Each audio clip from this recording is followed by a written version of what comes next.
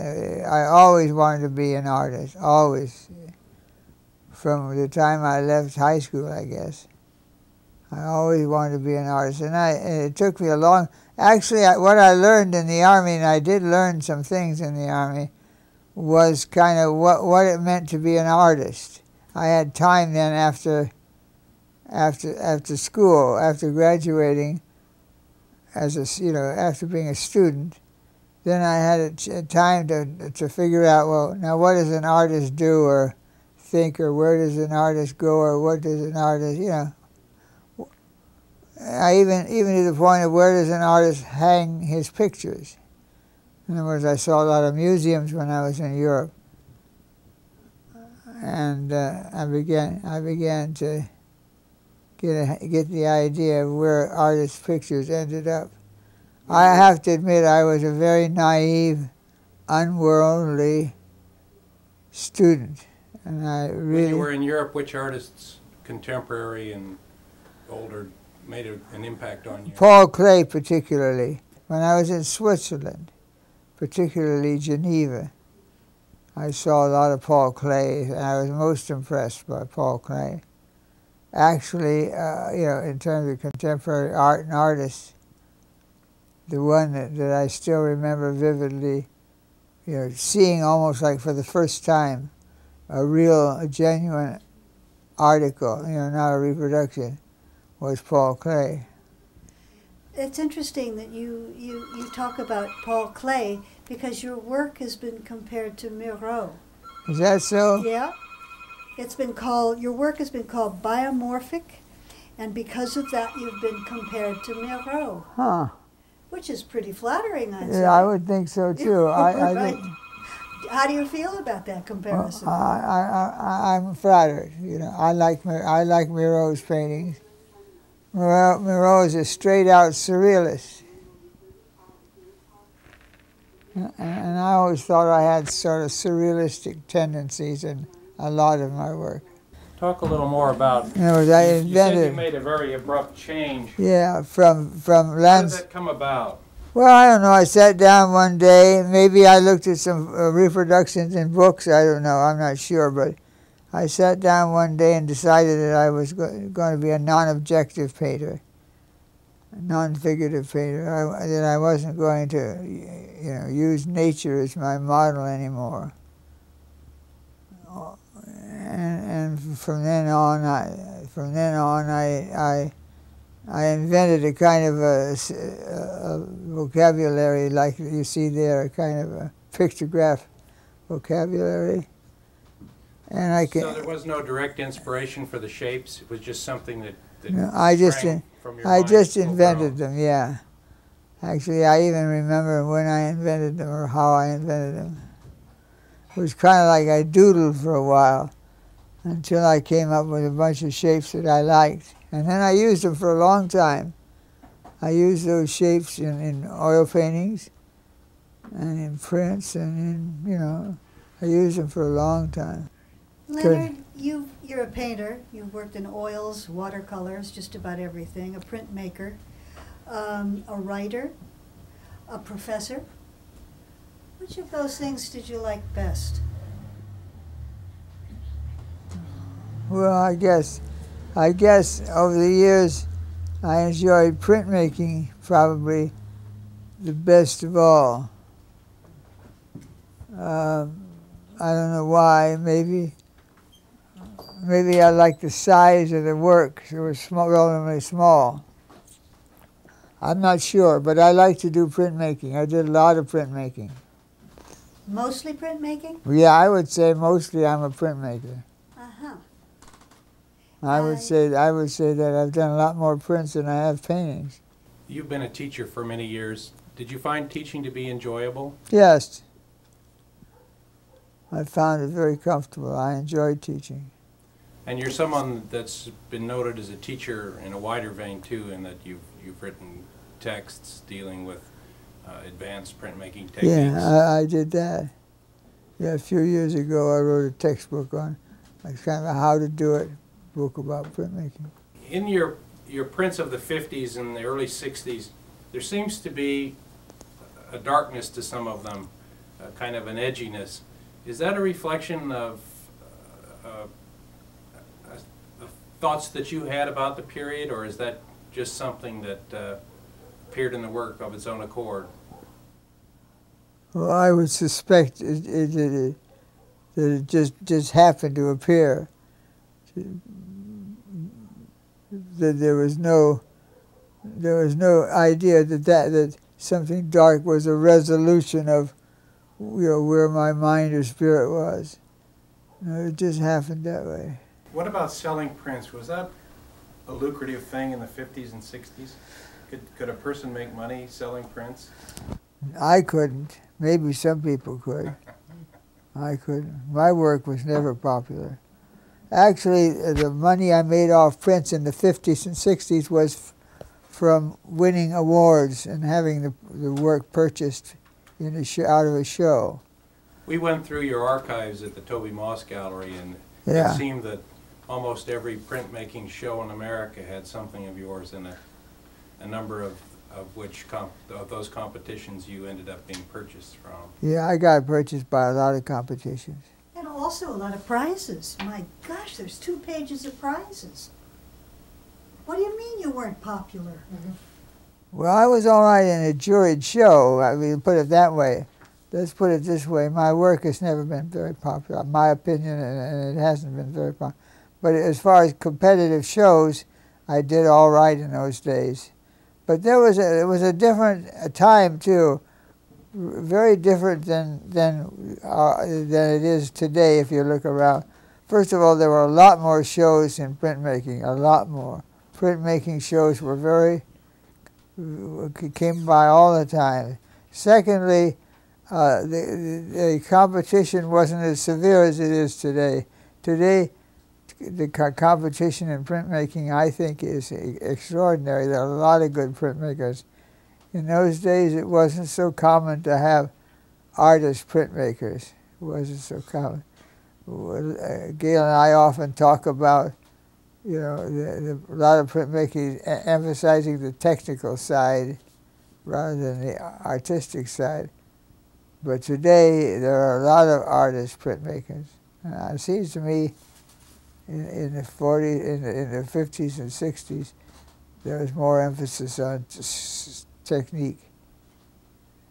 Leonard, you, you, I'm quoting you Yeah. from a while ago, and you said, The artist is a product of the society that nurtures him, and that society is dynamic and complex.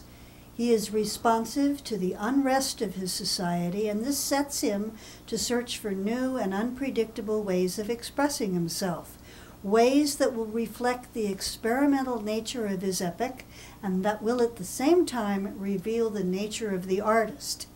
And that sort of brings into the the changes you've seen in the different decades, like the 50s, the 60s, the 70s, up to today.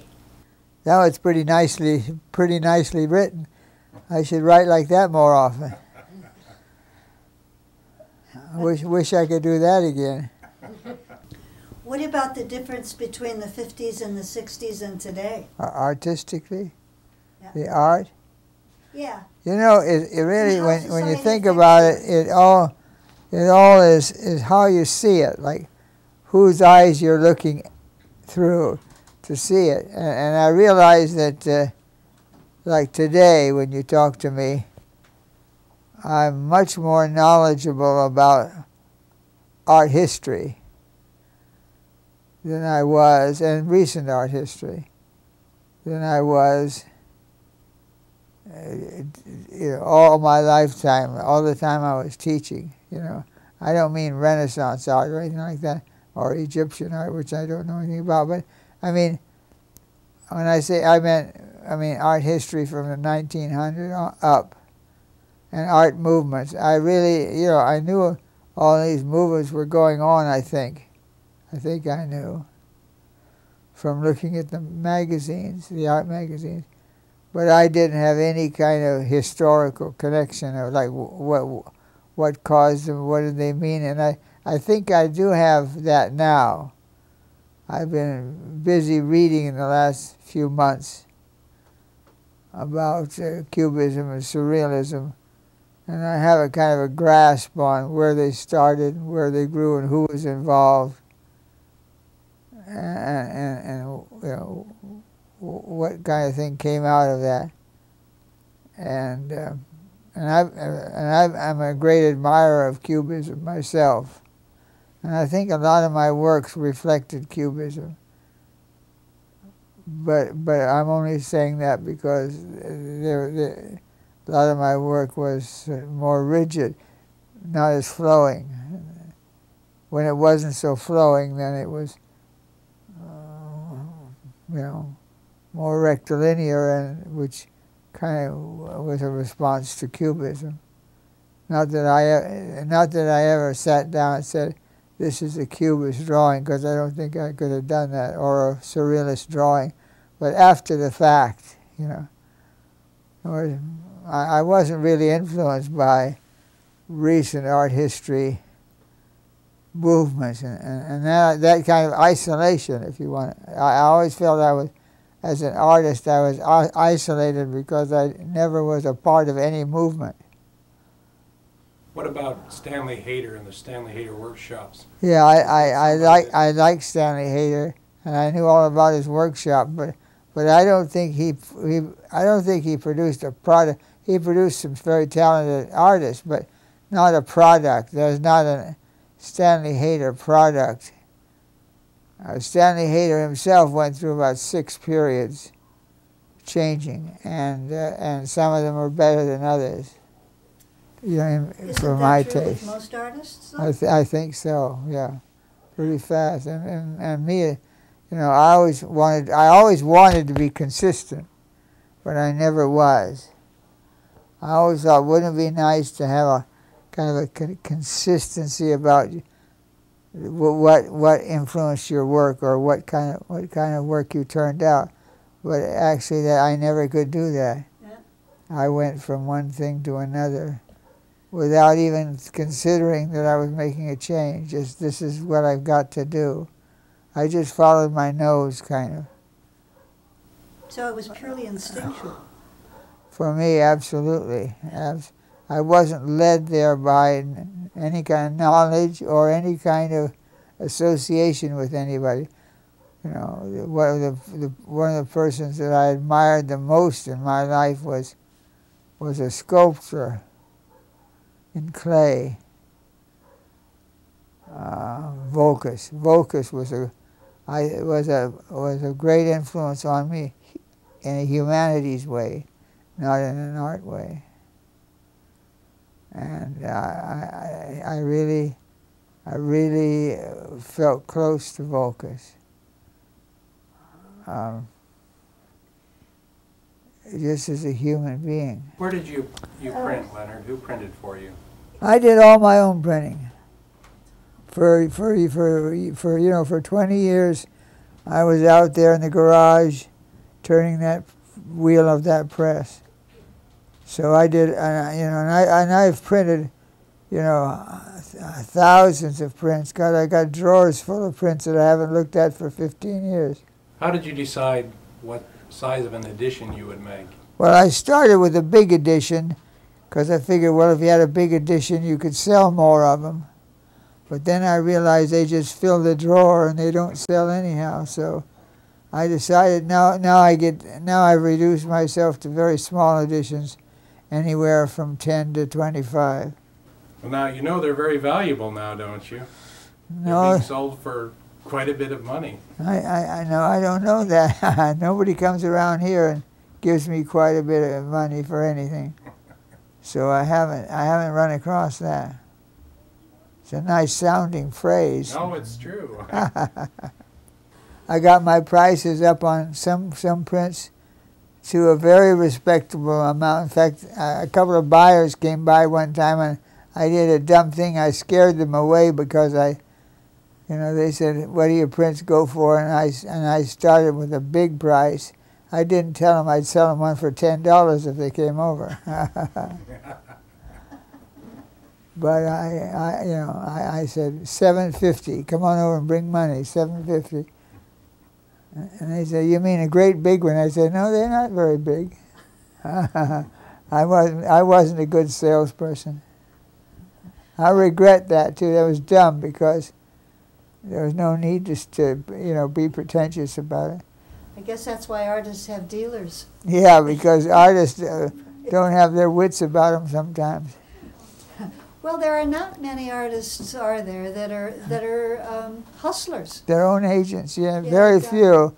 There are a few, but but they're rare. Yeah, Yeah, absolutely. they usually get caught up with some some outfit that pushes them and helps them. You know? Did you stop painting, or you just lessened the amount? Yeah, I just uh, actually I did a lot of watercolors. I have a lot of watercolors. Let's see, my son just brought back a a show I had uh, at, at Sandy Decker's studio, and uh, and uh, there's some watercolors there that are recent. You know, 2000, 1999. But mostly, you know, the last few years I've been doing printmaking every once in a while I get the urge to do a painting, but and I would like to do oils, but I'm just not set up for it, and it's it's too inconvenient for me. Leonard, I would think that printmaking would be much more difficult than, than painting, than watercolors or, or even oils, because of the, you know, the Yeah, the physical the physical involvement. It's true. Painting is is kind of you know is pretty lightweight in terms of energy, and uh, and you can get really tired printing, really tired.